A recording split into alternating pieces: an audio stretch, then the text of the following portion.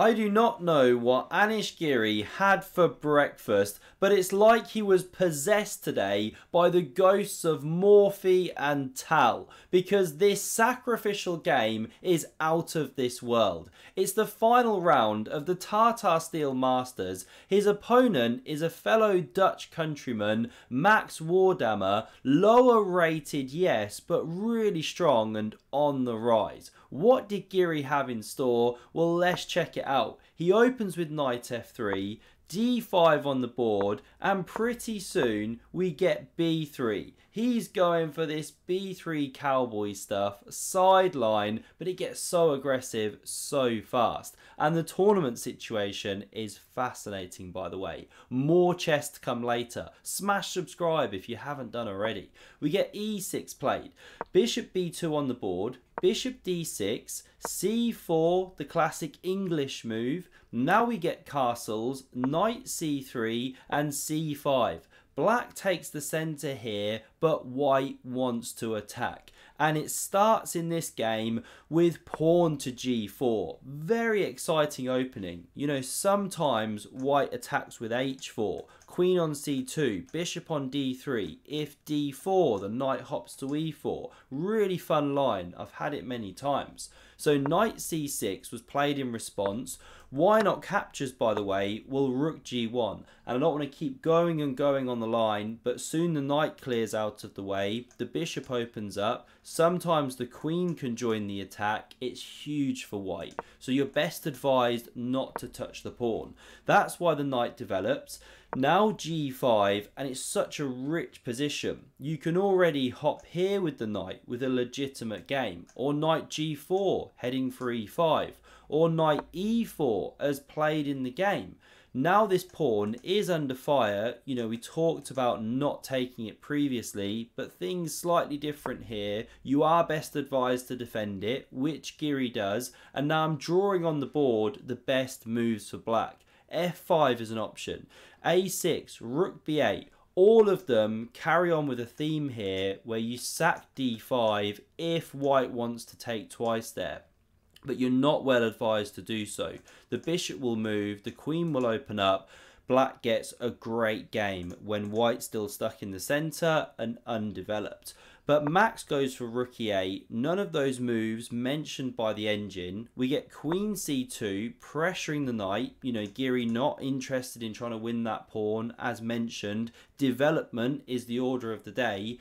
And now with that pressure on the knight, the best way for black to play here is with knight b4, queen retreats, and then look for some b6 stuff, bringing the bishop to this sensitive diagonal. But it was missed. Max plays the very natural knight takes on c3. That one was of course very, very pressured, but Giri gets a huge attack now.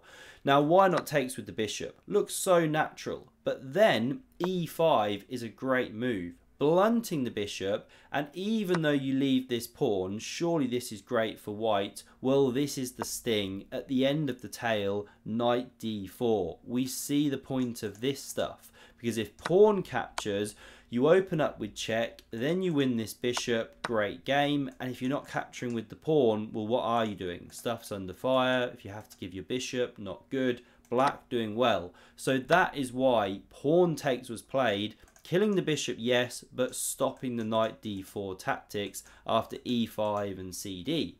So g6 was now played. It prepares knight e5 as we'll see.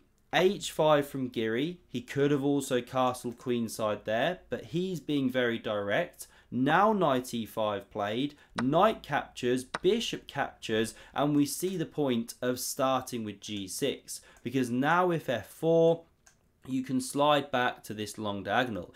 If h6, bishop h8, and you've shut down your own rook. So Giri just castles the king. Now bishop g7, voluntarily played, anticipating f4, which Giri charges on with. And now e5 from Max, played, great move, sacking a pawn, but you have to get this dead bishop into the game. That's why he plays it. It's good positional understanding. And the game just explodes now. Giri takes on g6. H recaptures, always recaptured towards the center in general. Plus this one is covering the square for now. Bishop d3 played, encouraging e4, but not advised here.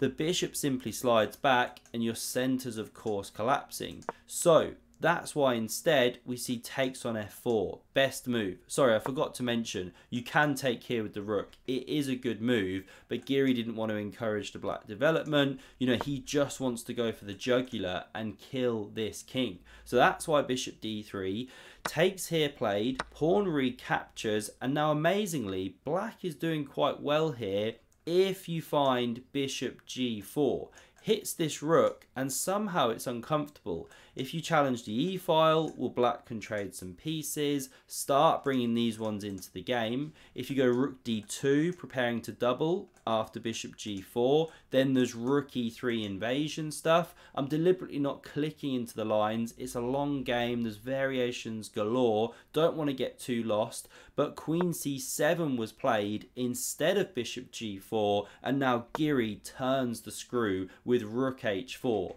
covers this move, supports the pawn of course as well, which was attacked, and prepares to double. Maybe the queen triples. So takes on c4 played if you have to recapture with the bishop, you're heading in the wrong direction. You know, bishop f5 could be coming. The rook's join. Black consolidates. So what does Giri do? Yes, you guessed it. You maybe saw the thumbnail. This is where he unleashes hell, Maximus style from Gladiator. He smashes through on g6. This is truly an epic attack from Anish Giri. So this is the first of three brilliant moves, brilliant sacrifices in this game. What's he got for the piece? Well, two connected passes. This really reminds me of a Kasparov game back in the day. He sacks a whole rook, I think, for these connected F and G pawns. Now, there's huge threats here. You want to go queen f7, exchange the ladies, but you see the evaluation bar react. You've just blundered a move. If you want to test your tactical uh, skills, pause the position here. There's a move for white to win the queen. Well done if you found rook h8 because the bishop can't capture. It's pinned, of course. King has to take, forced, and the queen drops. And obviously this is about to shut the trap. Really nice stuff. So that's why king f8 prepares queen f7 and you don't run into this tactic, bishop not pinned. So f5 from Giri, he's looking for f6 of course, queen f7 played, you just can't save this bishop, and now we get queen d6 check. Not exchanging pieces, going for the attack. The king sidesteps, but of course, what if queen e7? There's so many variations, but this is the rough thing. However you take, then you push f6, you win back your piece, and you have great uh, great position here. Material level, but the black king is naked. This is the problem. You get invasions like this, or if king g6, you check. You know, king slides back here, then you open up the dark squared bishop. White always has the initiative when you win the piece back. So neither of these pieces blocked. We get king g8 played. Now f6 comes, and it's so hard to deal with this. You know, why not bishop f8? Chase the queen. Well, look at this. For a switcheroo, back to h2, and now the h8 square is woefully unprotected. Queen can't get across, bishop can't get across, you know, not without sacking a piece. White doing great. So the bishop has to remain. Queen g6 therefore played. Excellent defensive move. Threatens to take with check. So queen f4 covers that pawn here and now queen f5 played. It wasn't the best but it's so tough to keep defending with best play. Bishop f5, best move, then the queen can take with check. Attack goes on, it's a different game. But queen f5 was played in the game. Giri goes queen g3, doesn't want to trade, stays with this pawn, and now this bishop develops to e6. Again, what if bishop f8? You know, now you can't go queen h2, threaten that mate. This drops with check. But now there's rook f4. It's a real complicated game. But after the queen moves, well bang, you go check. You fork these two pieces. You're about to make a queen. If takes, obviously you sack your queen. So many tactics. So you can't move the bishop. Bishop e6 played, best move, connects those rooks. We now get takes on g7 and not king recaptures immediately. Again, it's not good. Huge attack coming with g6 actually is the best move. There's just so many problems with both rooks joining the attack. There's checks come, whoops, misfire. There's checks coming along here as well. Everything like that. So bishop f7 was on the board. Best move. Now we get rook f4, putting a question to the queen. It jumps to e6 here, and now queen h2 from Giri. He's threatening mate in one. King takes, forced, and now here. Giri unleashes a double brilliancy. This is truly fantastic. Who is this guy? The guy who makes all the draws, right? We poke a bit of fun from his 2016 candidates tournament. He made 14 draws in a row. Not today, not this tournament, not this guy. He smashes through on f7, gives up an exchange. How awesome is this? If king captures, not played, well then the queen invades. King f8, the rook joins the party, you get mated. So, queen takes was played here, but now can you find the finishing finesse? This is really not an easy move to find. Very, very well done if you're able to spot pawn to g6. All of the attacking forces used here, masterful by Anish Giri, and so much stuff to analyse. You know, what happens if queen takes pawn simply? Well, rook g1, and if you get something like this, you've got a queen for two rooks, a naked exposed king, and a bishop. You know, black's just not long for this world.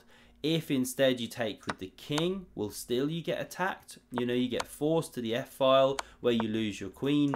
Or you get forced here where you just get mated very, very soon. You know, all collapsing. So you just can't touch this pawn. That's why queen e6 was played instead. But now how about this for a final? Brilliant move. They just keep coming in this game. Here's the move. If you go queen h7, it's good but it's not as best and it's not as beautiful as Rook d7 check, which forced resignation from Max. What a move. If Queen recaptures, then there's check and you're losing your Queen. Once again, it's a lost game. If the Rook blocks, then there's check, King f6 and Queen h4 check. Look at that pawn drops, you win the rook, hitting the queen. Again, it's an overwhelming advantage. What's the final thing to analyse? No takes, no blocks. What if pawn takes? Uh, king takes pawn even? Well, then rook d6 is a nice one. Now you're skewering laterally instead of vertically, or whatever the word is. What a game by Anish Giri. One for the ages. Just incredible. And here's the best part. We've got like three or four guys now on tied first place. So it's going to tie breaks as soon as the Pragg versus Firouzja game is done. So I'll be looking to get another video up later this evening. I hope you enjoyed this one. Smash subscribe to never miss a future one. And check out the video on screen for another epic game. Thanks a lot for watching and see you soon.